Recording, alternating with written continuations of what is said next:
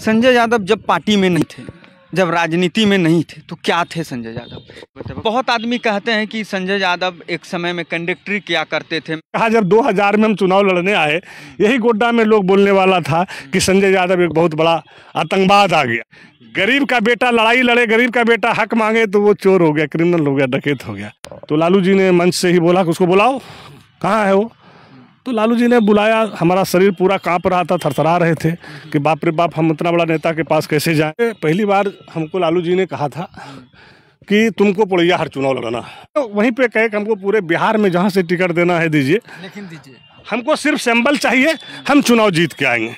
हमको लगता है कि 18 रात 18 दिन हम कंटिन्यू गाड़ी पे ही बिता दिए सिर्फ़ नहाते थे दही एगो पेड़ा खाते थे खाना भी नसीब नहीं होता था। चूँकि खाना खाने में मेरा दो घंटा समय बीत जाएगा, उस समय रोड नहीं था, पैदल जाना पड़ता था। हर गाँव हम पैदल जाते थे और लोगों में जो उत्साह था, लाइट जला के लैम्प जला के, लालटन जला के लोग जो है रत रत भर एक गाँव से दूसरे गाँव दूसरे गाँव से तीसरे गाँव, एकदम जनसलाब चलता था। और हम समझते हैं कि हम जितना क्षेत्र में रहते हैं, वो पूरे देश में कोई एमएलए उतना क्षेत्र में नहीं रहता होगा। नमस्कार मैं आशुतोष आनंद और आप देख रहे हैं एक्सप्रेस न्यूज़। आज हमारे साथ गोड्डा के पूर्व विधायक संजय प्रसाद यादव जी हैं। इनसे खास बातचीत आज करेंगे कि कौन है संजय यादव? आखिर कहाँ से आए संजय यादव? और संजय यादव जो हैं क्यों अपने गरीब गुरबा बयान के लिए जाने जाते हैं? क्या कुछ है? इनसे आज हम बातचीत करेंगे। आ, पूरी बात बताएँगे इनकी पूरी जीवनी बताएँगे। आइए अब सीधे चलते हैं संजय यादव जी के पास और जानते हैं कि कौन है संजय यादव? क्यों लोग इनको पसंद करते हैं? नमस्कार। संजय यादव, पहला सवाल, सिंपल सवाल, कौन है संजय यादव? संजय यादव, आदरणीय लालू यादव जी के एक सिपाही हैं, मामूली कार्यकर्ता हैं, और जो हमारा आदरणीय नेता लालू प्रसाद यादव जी है, उनका जो दिशा निर्देश है, जिस तरह से उन्होंने गरीब गुरबा के लिए काम किया, और जिस तरह गरीब गुरबा को उठाने का काम किया, उसका एक शिष्य बन के हम लोगों ने नब्बे से काम करना शुरू किए। और नब्बे से काम करते करते हम चौरानवे, पंचानवे में उस समय जन, नब्बे में जनता दल था। चक्कर छाप से हम लोग काम करते रहे थे। और जब लालू जी की पार्टी अलग हुआ और हम लोग का शंभू लालटन छाप हुआ तो हम जिला के महासचिव के रूप में उस समय ज्वाइंट बिहार था। बिहार में हम काम कर रहे थे। बांका जिला से जिला के महासचिव थे। उसमें भी तीन, चार साल, पाँच साल तक हमारे नेता उस समय यूथ के पूरे बिहार के प्रदेश अध्यक्ष तनवीर हसन होते थे। और उन्होंने जो जवाबदेही दिया, वो जवाबदेही को हम लोगों ने ईमानदारी से निभाए। और लड़ाई हर हमेशा गरीब गुरबा का, लालू जी का दिशा निर्देश, जब भी उन्होंने कोई टास्क देता था तो उसको मजबूती से काम करने, हम लोग काम करते थे।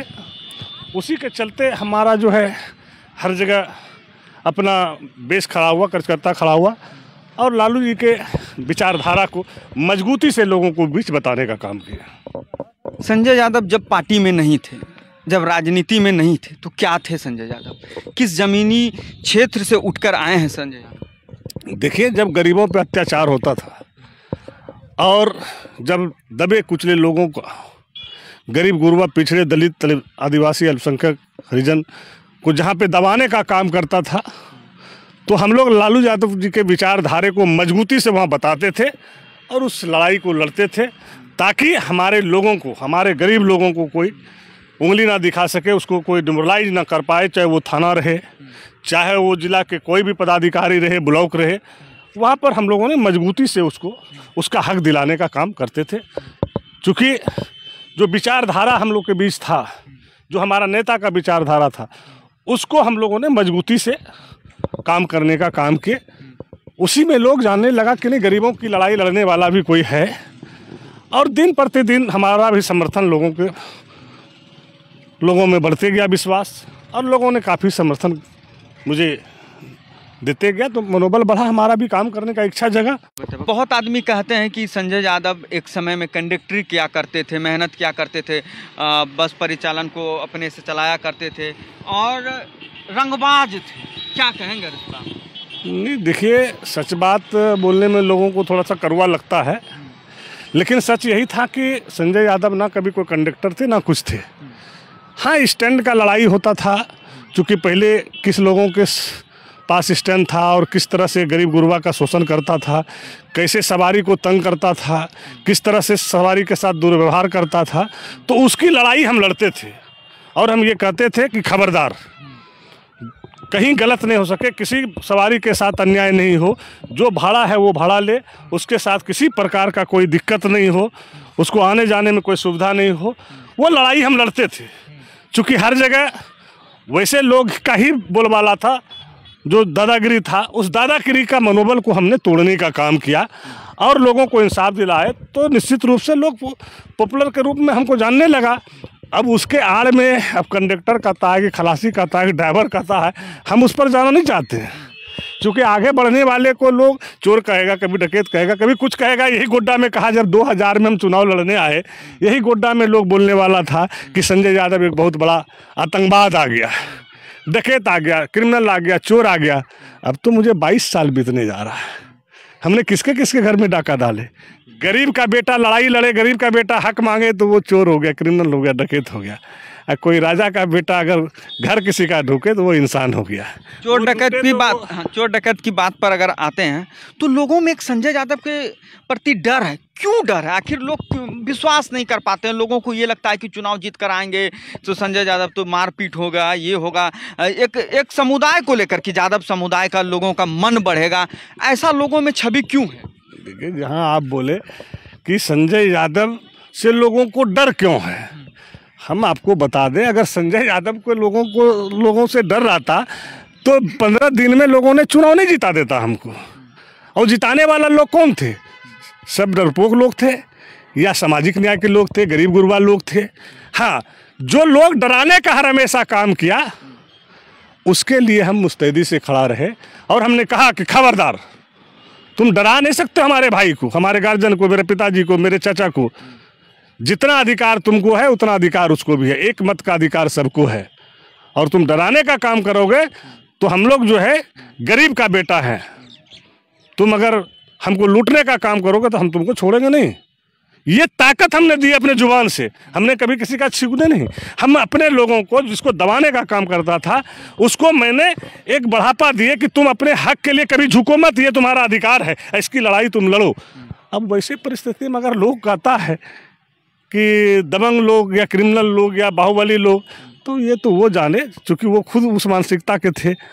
हम तो आज वैसे लोगों का भी काम कर रहे हैं जो लोग बोलता था। आज वही लोग हमारे पास आके बैठता है। तो क्या माने कि मतलब लोगों के लिए जो आप हित के लिए लड़ते थे, यही लोगों को पसंद नहीं आ रहा। इसी के दबाव में लोग जो है कि आने वाला समय में ये हावी ना हो जाए इस लेकर वो लोग दबंग कहने लगे और दुष्प्रचार करने लगे। निश्चित रूप से आप इसको बढ़िया से जान रहे हैं। गोड्डा ऐसा जगह है। गोड्डा ऐसा जगह में पॉलिटिक्स करना कितना कठिन है, ये हमसे बेहतर आप लोग खुद जानते हैं। और वैसे परिस्थिति में यहाँ के महान जनता ने जो मुझे सीधे प्यार दिया, आशीर्वाद दिया, सभी जाति के गरीब गुरबा ने दबे कुचले लोगों ने कि नहीं, हमारा हिफाजत करने वाला मेरा बेटा आया है और हम लोग अपने बेटा भतीजा भाई के साथ रहेंगे कि ना कि किसी के जो है बाहुबली के साथ रहेंगे। तो वैसे बाहुबली का यहाँ जो दादागिरी था, उसको लोगों ने समाप्त किया, संजय यादव को देकर थोड़ा सा हम लोग लाइन से भटक गए थे, हम आएँगे कि पहली बार आप लालू प्रसाद यादव जी से कैसे मिले, कैसे उनसे मुलाकात हुई और कैसे आपको टिकट मिला, इसका थोड़ा सा किस्सा जानना चाहेंगे। नहीं नहीं, देखिए हम जब एक माना मर्डर केस में जेल में थे वो साजिश का शिकार हम हो गए थे। जिस परिवार की हत्या हुआ वो परिवार भी हम लोग के बाप दादा ने उसको आगे बढ़ाया था। और एक साजिश के तहत उसकी हत्या करा दिया फिर उसमें हम हम ही को मुदाले बना दिया। हम जेल में थे फिर जेल से हम निकले चार साल हमको जेल में रहना पड़ा। और सारे उसके परिवार ने जान गया कि संजय यादव को एक साजिश के तहत फंसाया गया है। तो उस परिस्थिति में जब हम निकले बाहर तो लोगों में एक संदेश गया। लोगों में एक मैसेज गया कि जो लोग आज उसके खिलाफ लड़ता था, आज वही लोग उसका शिकार हो गया। तो निश्चित रूप से एक भूचाल लोगों में आया, गरीब गुरबा में आया कि नहीं, हमारे बेटा को निर्दोष फंसाया गया। और संजोग से उसी समय जो है, राज बंटवारा हुआ, अति लालू जी का एक बेलहर में रैली हुआ था और उस रैली में हम लोग काफ़ी संख्या में बेलहर में अपना समर्थन दिए थे।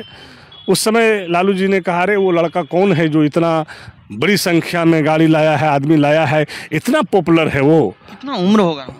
उस समय हमारा उम्र मुश्किल से इक्कीस बाईस साल होगा। बाईस बाईस साल के उम्र में आप पूरी रैली को तेईस साल लगभग हैंडल हाँ इक्कीस बाईस साल होगा। उसके बाद? उसके बाद हम लोगों ने रैली में काफ़ी संख्या में गए। तो लालू जी ने मंच से ही बोला कि उसको बुलाओ कहाँ है वो? तो लालू जी ने बुलाया हमारा शरीर पूरा काँप रहा था थरथरा रहे थे कि बाप रे बाप हम इतना बड़ा नेता के पास कैसे जाएँ? लेकिन उनका तो उस समय देखते थे कि बोली और सब चीज़ में क्या था। उसके बाद वहाँ गए हम पैर छू के प्रणाम किए आशीर्वाद लिए। लालू जी ने बोला "ए, बोलो तुम कुछ बोलो क्या बोलेगा? बिहार वहाँ पटना में रैली हो रहा है कैसे होगा कैसे जाएगा तुम लोग कैसे कैसे क्या करोगे? तो हम तो कुछ जानते ही नहीं थे मेरा गोड़ हाथ पूरा काँप रहा था। लेकिन फिर भी हम लोग हिम्मत करके हमने बोले कि नहीं हमारे आदरणीय नेता लालू यादव जी ने जो कह रहे हैं हम लोग यहाँ से जितना होगा हम लोग सब गरीब गुरुआ मिलके सभी लोग जो है पटना को भरेंगे और लालू जी को मजबूती से समर्थन करेंगे। ये हम दो ही लाइन बोले मतलब चूँकि ये पहला भाषण था। पहला भाषण था चूँकि दो ही लाइन हम बोले उसके बाद फिर बोल नहीं पाए चूँकि उस समय हम लोग को पॉलिटिक्स का कुछ वो अभी मालूम नहीं था। झूठ बड़ाई कर दें कि हम ये किए वो किए वो सब हम करते नहीं हैं। तो उसके बाद जो है फिर पटना रेला रैली गए। फिर हमको उसके बाद एक डेढ़ साल के बाद जिला के महासचिव बना दिए। फिर हम अपना लग गए काम में। उसमें बहुत सारे संकटें आया, बहुत सारा बात हुआ। अभी एक दिन में तो सारा रामायण ख़त्म हो नहीं सकता है। बहुत सारा मोर आया, बहुत लड़ाई लड़े, कितना बार रेला रैली हुआ। फिर भागलपुर में हमको गोली भी लगी। क्रिमिनल ने मारा फिर वो क्रिमिनल लोग को भी पब्लिक ने घेर के मारा।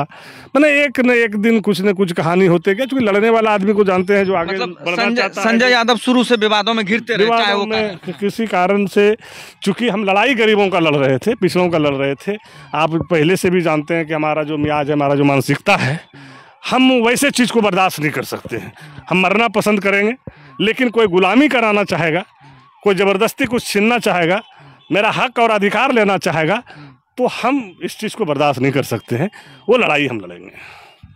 आज भी देखते हैं दल में रह के भी लड़ते हैं। दल से बाहर भी जो समझौता होता है यूपीए गठबंधन का होता है जो चीज़ हमें अच्छा नहीं लगता है वहाँ पे हम तो जवाब देते हैं बोलते हैं कल भी बोले हैं। तो वहाँ पर जो सही चीज़ है उसको हमको कोई रोक नहीं सकता। बोले पहली बार जब आपको टिकट मिला टिकट के लिए कौन आपका आवाहन किया? तो कौन आपको बुलाए थे नहीं नहीं देखिए पहली बार हमको लालू जी ने कहा था कि तुमको पुड़ैया हाट चुनाव लड़ना। और पुड़ैया हाट से मेरा रथ उत भी सारा चीज़ बन गया था। और हम लोग भी पुड़ैया हाट में, चूँकि मेरी आबादी भी बहुत ज़्यादा था, हम लोग भी बेस बना के चलते हैं। कोई भी राजनेता या कोई भी राजनीति करने वाला लोग पहले अपना बेस खोजता है। तभी दूसरे का बेस को भी जोड़ता है तो मजबूती प्रदान होता है। तो निश्चित रूप से हमारी आबादी वहाँ बहुत था। उस समय ज्वाइंट बिहार था। तो हम पुड़ैया हाट लड़ना चाह रहे थे। रथ उत मेरा सब तैयार हो गया था।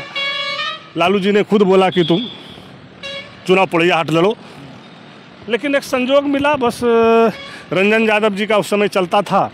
उस समय प्रोफेसर लोग का वही इंचार्ज थे, सारा सैम्बुल तैम्बुल उन्हीं के पास रहता था। लालू जी से बगैर पूछे, वहाँ पे टिकट दूसरे आदमी को दे दिया। वो भी मेरा बड़ा भाई था फनीभूषण यादव जी को टिकट दिया। फिर बहुत सारी बातें हो गई, मेरा रथ उत बन गया था। हम भी थोड़ा आक्रोश में आ गए कि नहीं लड़ाना था तो नहीं बोलता अब रथ बना दिया, बैनर पोस्टर बना दिया। हम समाज में क्या मैसेज देंगे और अब क्या बोलेंगे? हमको यहाँ से काफ़ी लोग गुड्डा से, पुड़िया से मैंने मैसेज दे रहा था कि जैसे भी हो कहीं से टिकट लेके आइए। अब कहीं से टिकट लालू जी से टिकट लेना इतना आसान तो है नहीं। फिर भी हम लोग लड़ाई लड़े अपना। लड़ाई लड़ने के बाद लालू जी ने बोला रे ऐसा करो। उसको बुलाओ। फिर डीएम एसपी को फ़ोन किए, फिर उनका टिकट वापस मंगवाया। फनीभूषण जी भी आया। हमने कहा कि यहाँ विवाद हो गया और विवाद में हम लड़ना नहीं चाहते हैं। चूँकि शुभ शुभ है पहला बार हम चुनाव लड़ना चाहते हैं। वहाँ दे दिया तो हम विवाद में नहीं जाना चाहते हैं हमको कहीं दूसरे जगह से लड़ा दीजिए। तो लालू जी ने कहा ऐसा करो इसको चकाई से लड़ा दो। फिर बोला जरमुंडी से लड़ा दो। फिर उन्होंने कहा उसमें कुछ कांग्रेस के लोग भी लग गए कि नहीं इनको टिकट देने से हमारा सीट निकल जाएगा आसानी से। अच्छा। वो भी अपना लोभी भिरा दिया। हाँ। तो हम लोग तो सब चीज़ खेला जान रहे थे क्योंकि उनसे भी हमारा संबंध अच्छा था। रजनीश आनंद से भी संबंध हमारा अच्छा था उनके भाई मनीष जी से भी अच्छा संबंध था। तो उस समय हम लोग जानते नहीं थे कि हमको गोड्डा लड़ना पड़ेगा। और वो सोचा कि ये अगर गोड्डा लड़ जाते हैं तो फिर मेरे लिए आसान सीट हो जाएगा। अच्छा। ये सोच के वो भी मतलब लग गए अपने तरीका से क्योंकि उनका उस समय साधु जी से बहुत अच्छा संबंध था लालू जी से भी अच्छा संबंध था। तो लालू जी ने हमको घेर फेर के कहा वहाँ से वो लगता लड़ता है जो है वो होटल वाला होटल वाला। क्या नाम है? पटना में जिसका होटल है स्टेशन पे। वहीं से लड़ो। वहीं पर तुम जो है पूरा गरीब गुरबा का ताकत दोगे। गोड्डा में हमारा संगठन भी कमज़ोर है। तुम वहीं से लड़ो। मतलब एक साजिश के तहत आपको गोड्डा मिला। हाँ। तो हमको चूँकि चुनाव लड़ना था हमको उन्नीस बीस समझ में नहीं आ रहा था। हम सोचे कि नहीं चलो नेताजी जहाँ से बोल रहे हैं वहीं हमने वहीं पे कहे कि हमको पूरे बिहार में जहाँ से टिकट देना है दीजिए। लेकिन दीजिए। हमको सिर्फ़ सैम्बल चाहिए, हम चुनाव जीत के आएँगे। लालू जी ने फिर तुरंत सैम्बल मंगवाया, भर के हमको। दे दिया दे दिया तो लालू जी या तो कब सिंबल मिलेगा, कब ले लेगा, ये भी करना मुश्किल। तो हमको सिंबल मिला तो हम भागे वहाँ से। हम भागे वहाँ से हम लड़का लोग को यहाँ जो भी फ़ोन कर रहा था। मतलब एक समय के लिए विश्वास नहीं हो रहा था नहीं कि था। सिंबल मिला कि नहीं मिला मिल भी गया तो भी लगता था कि लौट जाएगा क्या होगा। क्योंकि बहुत तरह की बात होता था। उस समय राजनीतिक में हम लोग मेचोर भी नहीं थे उतना राजनीतिक का ज्ञान भी नहीं था। हाँ। तो फिर जो है हम लोग सिंबल लेके निकले। यहाँ पे सारे लोगों को मैसेज दिए। उस समय टेलीफोनिक सुविधा था मोबाइल वोबाइल का सुविधा तो था नहीं। तो यहाँ से काफ़ी लोग भागलपुर गए। और फिर हमको वहाँ से रिसीव किया हम लोग करीब चालीस पचास गाड़ी से अपना गुड्डा घुसे। गुड्डा घुसने के बाद हम लोग चौक पे रुके थोड़ा, चौक पे रुकने के बाद बहुत तरह का बात था उस समय गुड्डा से जो लोग टिकट लेना चाहता था, वो भी दो खैमा हो गया कि हमको नहीं मिला, बाहर के लोगों को दे दिया। ये सब भी बातें आई, लेकिन धीरे धीरे धीरे धीरे हम अपना बात व्यवहार से गोड़ हाथ पकड़ के जैसे भी हुआ, लोगों के बीच जा जा के अपना संपर्क जोड़ने का काम किए फिर चुनाव लड़े, मजबूती से चुनाव लड़े नॉमिनेशन किए। आंधी तूफ़ान के तरह आए थे, आंधी तूफ़ान के तरह सोलह दिन में लड़ाई लड़े। यहाँ के लोगों ने आस्था विश्वास जताया, सारे गरीब गुरबा लोग मदद किया, उसमें बहुत सारे लोग थे। बजरंगी जी थे, सुरेश जी थे, उस समय जयप्रकाश जी थे, नकुल राय जी थे, धनंजय मातो जी थे। कई लोग थे ऐसे जो लालू जी के प्रति आस्था विश्वास रखने वाले लोग थे। ये लोग सारी अपनी जितनी भी ताकत थी, सारे लोगों ने अपना जो है झोंकने का काम किया क्योंकि हमारे लिए तो नया था हम बहुत कार्यकर्ता को चिंते भी नहीं थे। हमारे लिए भी आपके लिए पहली बार और पहला चुनाव लड़ रहे थे। नहीं लड़े थे हम निर्दलीय लड़े थे। बहुत कम वोट से बाका से हम हारे थे। पंचानवे में चुनाव हम लड़े थे। लेकिन यहाँ के लिए हम नया थे। और यहाँ के लोगों ने भी पुरजोर मदद जितनी शक्ति था जितनी क्षमता थी उन्होंने रात दिन चूँकि उसको भी पहला बार मौका मिला लड़ने का कि नहीं इस बार हम लोग सीट निकालेंगे। सारे लोगों ने अपनी ताकत लगाया। हमको भी जितना ऊर्जा देना था, जितनी ताकत देना था, लोगों के बीच दिए और हम भी मेहनत में कभी नहीं छोड़े। हमको लगता है कि 18 रात 18 दिन हम कंटिन्यू गाड़ी पे ही बिता दिए, सिर्फ़ नहाते थे, दही एगो पेड़ा खाते थे, खाना भी नसीब नहीं होता था। चूँकि खाना खाने में मेरा दो घंटा समय बीत जाएगा, उस समय रोड नहीं था, पैदल जाना पड़ता था, हर गाँव हम पैदल जाते थे। और लोगों में जो उत्साह था, लाइट जला के लैम्प जला के लालटन जला के लोग जो है रत रत भर एक गाँव से दूसरे गाँव दूसरे गाँव से तीसरे गाँव, एकदम जनसलाब चलता था। तो हमको कहीं से नहीं लगता था कि हम चुनाव नहीं जीतेंगे। अपने ऊपर पूरा फुल्ली हमको विश्वास था और फिर हम लोग चुनाव मजबूती से लड़े। लड़ने के बाद जब उस दिन, वोटिंग के दिन, जब देख लिया चारों बगल से कि चुनाव संजय यादव जीत गया तो बसंतराय चौक पर एक साइड वो बैठे थे, एक साइड हम बैठे थे।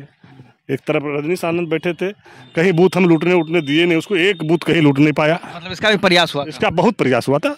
कई पटना के कई क्रिमिनल पकड़ाया हथियार उथियार के साथ जहाज़ किताब पकड़ाया और जगह पकड़ाया। हम लोगों ने मैंने उसका कोई भी जो प्लानिंग चलता था उस प्लानिंग को चलने नहीं दिया। एक उसके भाई को पीछे हमारी गाड़ी थी रजनीश आनंद के पीछे अब मनीष आनंद के पीछे हमारा छोटा भाई मनोज की गाड़ी थी कि तुम लूटो नहीं। वोट जिसको देना है दो हम वोट देने पे विश्वास रखते हैं। वोट लूटोगे तो फिर हम छोड़ेंगे नहीं। जो पब्लिक को हमने कमिटमेंट किया था कि चुनाव के दिन हम आपको विश्वास दिलाते हैं कि एक वोट मेरा कोई लूट नहीं पाएगा।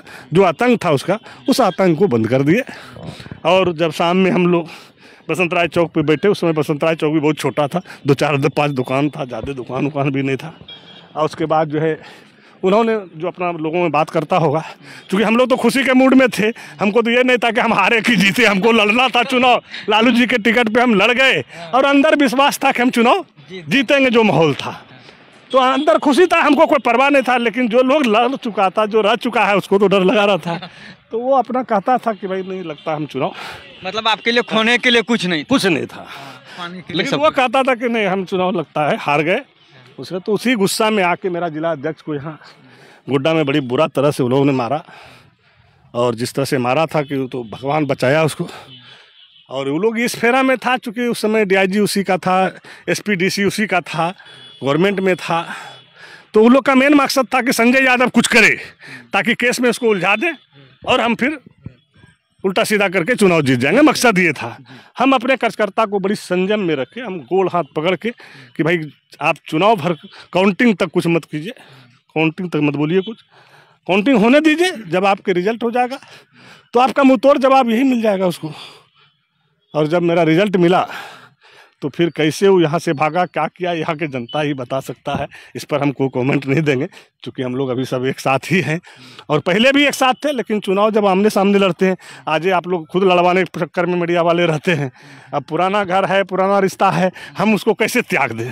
ठीक है, पार्टी लेवल पर राजनीतिक होती है, लड़ता है भाई भाई में होता है। देख रहे माँ बेटा चुनाव लड़ जा रहा है भाई भाई लड़ जा रहा है। तो जहाँ जो पार्टी का जो रहता है, वो अपने हिसाब से बयान देता है स्टेटमेंट देता है। लेकिन हम इतने बोलते हैं कि झूठा बयान नहीं दे सच बयान दे जो भी दे सच बयान दे चूँकि हम सच पे विश्वास करते हैं।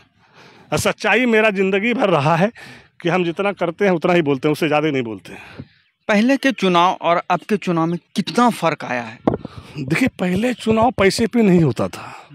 पैसा लेके वोटर वोट नहीं देता था। लेकिन ये बीजेपी वाला जब से मोदी जी आए सात आठ साल दस साल से जो इनका प्रक्रिया चल गया ये अब पैसा पर वोट लेता है वोट को खरीदता है। साड़ी दे के वो गमछी पंछी दे के क्या क्या दे करके क्या क्या लोग लिफाफा दे के हम लोग आज भी उस पर भरोसा नहीं करते हैं। हम लोग कभी पैसा पे गोड्डा विधानसभा में या कहीं भी पैसा पे वोट नहीं लिए।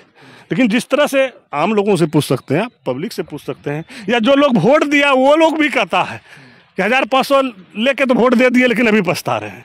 तो आप लिए तो पछता रहे हैं। हम तो दिए ही नहीं तो पछताएँगे क्यों? तो भाई जो लगाया है तो तो असूलेगा ना?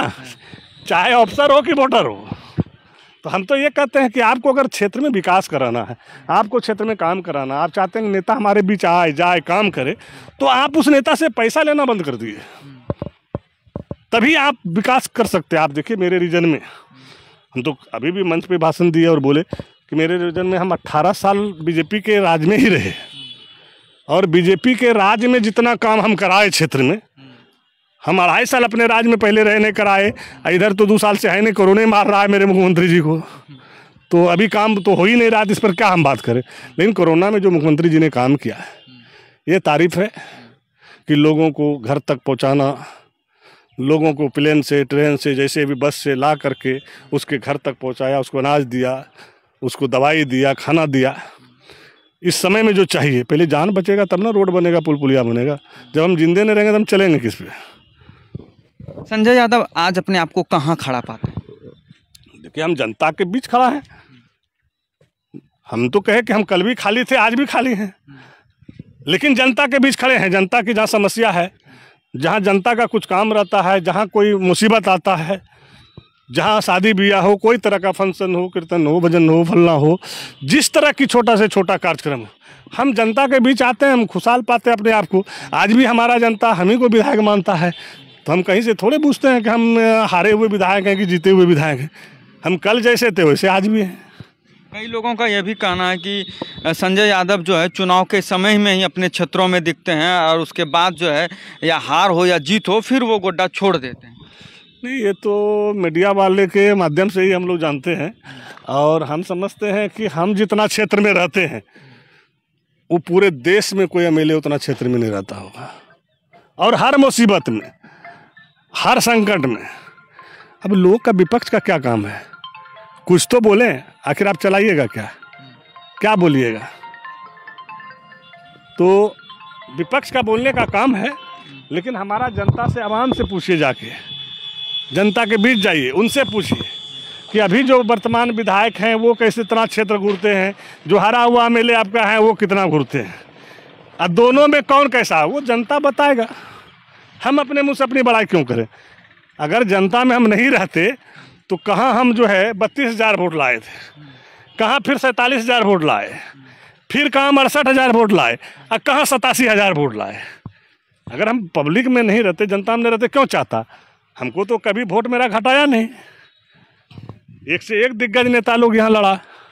हाँ इस बार जो आपकी हार हुई क्या कारण मानते हैं? जब आप सोचते हैं आकलन करते हैं तो क्या लगता है? क्यों हार? इस बार की हार हमारी हार नहीं है, ना गोड्डा की जनता की हार है। इस बार की हार यहाँ के प्रशासन के द्वारा मुझे हराया गया, जो आम लोग जानते हैं। जहाँ हमको हारना था, हम भी मानते हैं, जहाँ हमको हारना था, वहाँ से हम जीत करके निकले साढ़े चार हज़ार वोट से, हम पथरगामा से जीत करके हम जो है गोड्डा घुसे। और गोड्डा में आके हारना, जो कभी आज तक हम हारे ही नहीं। गोड्डा में आके हारना ये कहीं ना कहीं साजिश है। प्रशासन की साजिश। निश्चित रूप से निश्चित रूप से प्रशासन के लोगों ने मुझे चुनाव हराया। उसमें बहुत सारे गेम हुआ जो मास्टर का टीचर का सिपाही लोग का वोट पड़ा। आप जानते हैं सिपाही लोग किसको वोट देता है? मास्टर लोग किसको वोट मास्टर तो उस समय खकवाया हुआ था जिस तरह से रघुवर दास जी ने उसको अथी किया था क्रस किया था। तो सारे लोगों का वोट गया वो वोट गिनती मेरा ख़त्म कर दिया कहीं रहने नहीं दिया। और बार बार डीसी मेरे ही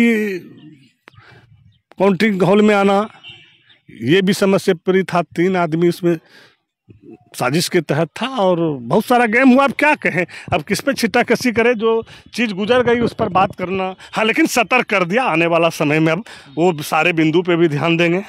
और जिस तरह से पैसे का खेल, कपड़ा, लत्ता, साड़ी और सामान दे करके खेल करता है, वो सब, चूँकि हमारा लोगों ने इस बार तो दिखाया ना भाई, कितना जगह, हमारा तो कहीं गाड़ी नहीं पकड़ाया। कहीं कुछ देते लेते नहीं पकड़ाया। कहीं हम साड़ी और साया का खेल तो किए नहीं। कहीं कोई कपड़े का खेल तो किए नहीं, कहीं पैसा का खेल तो किए नहीं। और उसका तो कई जगह गाड़ी पकड़ाया, पकड़ा हुआ गाड़ी, माल समेत पकड़ रहा है, पब्लिक हल्ला कर रहा है, छोड़ रहा आप ही। लोग तो चला रहे थे। आप ही लोग मीडिया वाले दिखा रहे थे कि हाँ गाड़ी पकड़ा गया, बीजेपी का इतना माल लोड है, झंडा लगा हुआ, सब चीज़ लगा हुआ, उसके बाद जो है कोई पदाधिकारी ने कोई एक्शन नहीं लिया, कोई काम नहीं किया। आने वाले दिनों में क्या कुछ तैयारी है? किस तरह की रणनीति आप बना देखिए, तैयारी अभी तो गठबंधन की सरकार चल रही है। और जिस तरह से गठबंधन की सरकार चल रही है, अब आगे हमारा नेता भी अभी बाहर आ गया है। उनका क्या दिशा निर्देश होता है? आगे की क्या लक्ष्य हम लोग का रहेगा? कैसे हम लोग तैयारी करेंगे? कैसे लड़ाई लड़ेंगे? तो वो प्लानिंग हम लोग का चल रहा है। अभी बीच में मधुपुर चुनाव में हमारे भावी मुख्यमंत्री तेजस्वी यादव जी आए थे। उन्होंने उनसे साथ भी हमारा बहुत सारा वार्ता हुआ। हम झारखंड के विषय में बहुत सारी बातें उनको बताया। और चूँकि यहाँ पार्टी हम लोग का बहुत मज़बूत है और निश्चित रूप से अगर हमारा नेता ध्यान देगा तो हम यहाँ मजबूती से उभर सकते हैं और मजबूती से काम कर सकते हैं। क्योंकि आज भी लोगों को लालू यादव के प्रति विश्वास है, आस्था है और उन पर भरोसा रखता है कि वो आदमी बदलाऊ नहीं है, वो आदमी टिकाऊ है। उसको कोई खरीद नहीं सकता है। इसलिए करके उन पर आस्था और विश्वास है और आज भी लोग उनको चाहते हैं। पच्चीसवां राष्ट्रीय जनता दल का स्थापना दिवस। है आज के दिन क्या कहेंगे आम जनता को? देखिए आज के दिन हमारे नेता आदरणीय लालू यादव जी ने संदेश दे चुका है। उनसे बड़ा नेता हम है नहीं और हमारे नेता जब नहीं रहता तब हम लोग का बात सुनता है लोग। तो हमारा नेता आज भी उतना पॉपुलर है। हमारे नेता के प्रति इतना लोगों में विश्वास है। आज अभी आप देखे होंगे कि स्थापना दिवस में बेगर कहे दो दिन में लोगों को खाली सूचना गया और किस तरह से जन सलाह आया। तो इससे साफ़ ज़ाहिर है कि संदेश क्या देना है? संदेश तो जनता दे दिया कि हम आपके साथ हैं। राष्ट्रीय जनता दल के साथ हैं, लालू यादव के साथ हैं, संजय यादव के साथ। ये संदेश दे दिया। तो देखा आपने, हमारे साथ गोटा के पूर्व विधायक संजय प्रसाद यादव जी थे, और उन्होंने बड़ी ही बेबाकी से अपनी जीवनी बताई। कैसे वो चुनाव में आए, कैसे चुनाव लड़े, और क्या कुछ आगे की तैयारी है। तो बने रहें हमारे साथ ऐसे ही तमाम खबरों के लिए, और देखते रहें एक्सप्रेस न्यूज़